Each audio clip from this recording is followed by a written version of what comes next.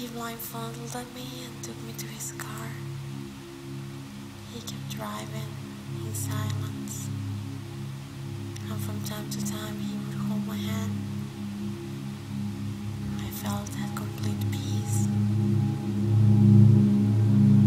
not knowing where he was going to take me or what he was going to do to me. When he stopped his car, I was alone for a second until he opened my door and took me by the hand. I felt a breeze in my hair and in my face. I felt the sand on my feet. He held me and we walked. And he finally took the